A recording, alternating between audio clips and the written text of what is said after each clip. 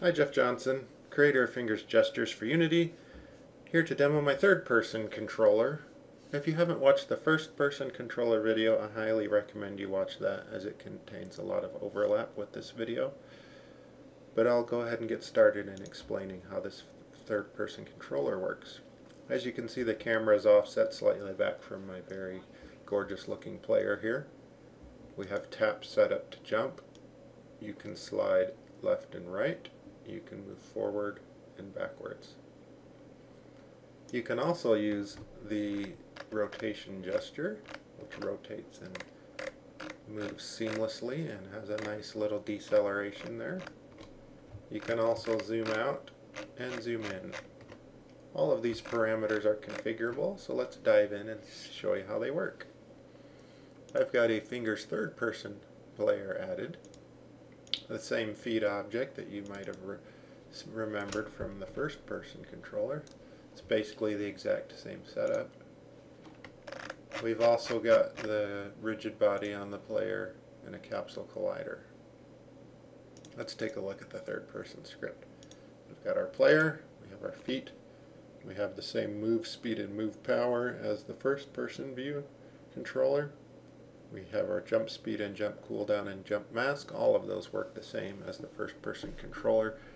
The speeds and the power simply controls how fast it moves as you move away from that center point.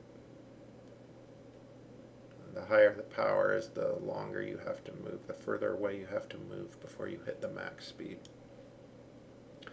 Camera Z offset determines how far back the camera is going to go you can obviously go pretty far back. We've got the camera Y offset that controls how high above the player you're going to be.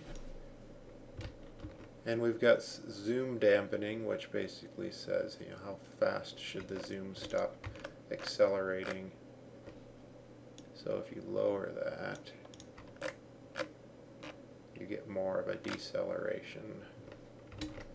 But I thought 10 was a good value, so that's what I'm sticking with. The camera Z distance, when you're zooming, it just clamps the camera in this range as you zoom. If I change that to a 1, you'll be able to go in a lot further. Now as a 5, you can't go in quite as much. Okay, that sums up the third person controller. Let's take a look at this joystick script. This is exactly the same script from the third from the first person controller. We have our pan and tap for move and jump. Same pan units. This is how far away from the center before max speed is attained. We've got the tap to jump property, restriction of the pan and tap to certain game objects.